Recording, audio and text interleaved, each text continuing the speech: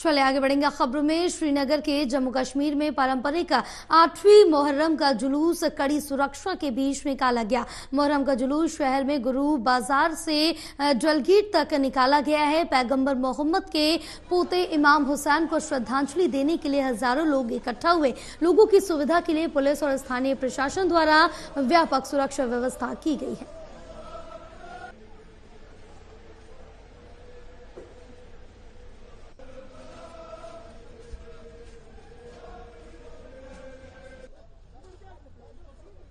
ये तो जुलूस है, आपको पता होगी कि ये यादगारी हुसैनी कमेटी गुरु बाज़ार के तहत निकाला, बरामद होता है।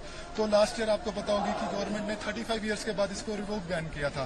तो अल्हम्दुलिल्लाह इस बारी भी ये जुलूस एट प्रोसेशन जो यादगारी हुसैनी कमेटी गुरु बाज़ार के तहत बरामद होता था और इख्ताम पजीर डेलीगेट पे होता था। इस साल भी एडमिनिस्ट्रेशन ने परमिशन दे के और हम ये, और timing there was a slight difference in the timing but अलहमदिल्ला तो ये जुलूस बरामद हो रहा है। जी, अल्हम्दुलिल्लाह।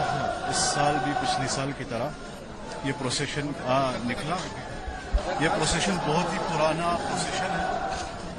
तो लेकिन कुछ 30-35 साल ये बंद रहा, जो भी मुश्किल थी, उसके बायस फिर पिछले साल दोबारा शुरू हुआ और इसमें मोमिन ने बहुत पहल की और एडमिनिस्ट्रेशन का भी शुक्रिया उन्होंने इजाज़त दी। तो इस साल भी अलहमदिल्ला ये बरामद हो रहा है, आप देख रहे हैं।